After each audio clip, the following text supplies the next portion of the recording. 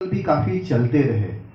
और मैं आप, ये प्रश्न आपसे मैं दो भाग में करूँगा। अभी पहला भाग हम लोग उन्नीस तक रखते हैं, क्योंकि उसके बाद पूरी मतलब एक पृष्ठभूमि बदल जाती है। तो 47 तक बहुत सारे केसेस हुए, जिसमें 1936 का एक बहुत फ़ेमस केस है। तो इन केसेस का निष्कर्ष क्या निकला था? देखिए, सबसे इम्पोर्टेंट बात यह है कि दीन मोहम्मद के केस की आप बात कर रहे हैं। जो लीगल केस पहला इस इस पूरे प्रॉपर्टी को लेके हुआ उससे पहले तो हमने 1809 का डीएम वॉटसन की चिट्ठी देखी है। और काफ़ी जो डिस्प्यूट्स हुए, वो उस समय की जो मैजिस्ट्रेट थे, वो एडमिनिस्ट्रेटिव साइड को उसे सॉल्व करते थे, क्योंकि जुडिशरी का उस समय उतना रोल नहीं था। पर जो हमने पहला इसमें सिविल सूट देखा हुआ है सिविल सूट नंबर 62 ऑफ़ 1936 जो दीन मोहम्मद का केस था, जो यहाँ पे फ़ाइल किया गया था। बड़ी एक इंटरेस्टिंग आपको कोर्ट की घटना बताता हूँ। उस समय तो अब वो हमारे बीच में नहीं रहे। तो अंजुमन इंतजामिया के जो वकील थे अभय यादव जी, वो इस केस में अंजुमन इंतजामिया की तरफ़ से पैरवी कर रहे थे।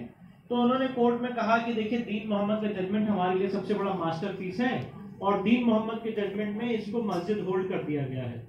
और मैं आपको, जज साहब को उन्होंने कहा कि मैं आपको पैरा पढ़ के सुनाने जा रहा हूँ, जिसमें दीन मोहम्मद ने इसको मस्जिद होल्ड कर दिया है। तो जज साहब ने भी कहा कि पैरा आप पढ़िए।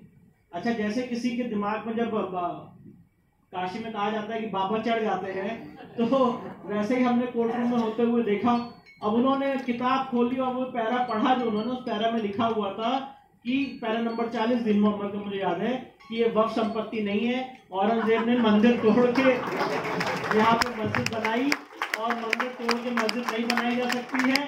और अगर आपने किसी की संपत्ति कब्जा कर ली, अब उन्होंने पैरा पढ़ा, अब वो अचंभित हो गए। शायद उनके नोट्स में जो पैरा पढ़ना चाहते थे, वो कुछ था और जो पढ़ा उन्होंने, वो कुछ था।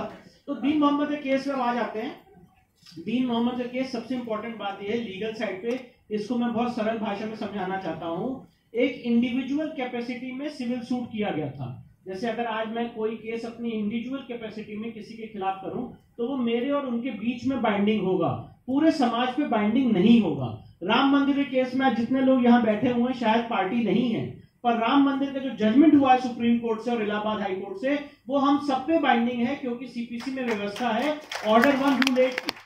ऑर्डर वन रूल एट की प्रक्रिया ये होती है कि अगर कोई केस हाई कोर्ट या सुप्रीम कोर्ट उसको ऑर्डर वन रूल एट का मान लेती है तो उसमें जो भी आदेश होता है, वो जो लोग पार्टी ना भी हो, उन पे वो बाइंडिंग होता है।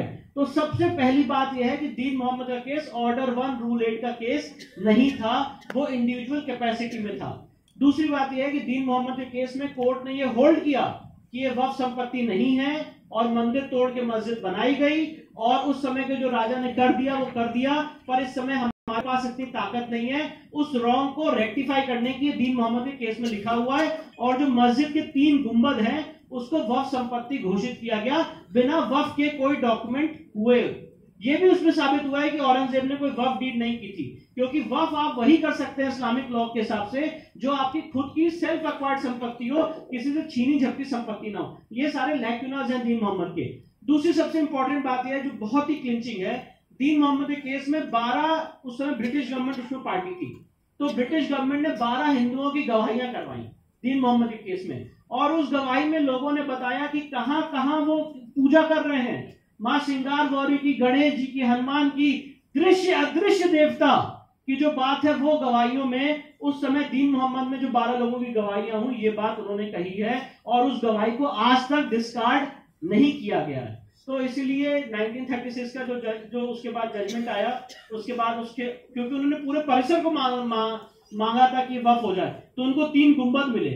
फिर उसके खिलाफ वो गए इलाहाबाद हाईकोर्ट इलाहाबाद हाईकोर्ट ने उनकी याचिका खारिज कर दी। तो तीन गुंबदी अगर, पहली बात तो दीन मोहम्मद का जजमेंट हम लोगों पे बाइंडिंग नहीं है।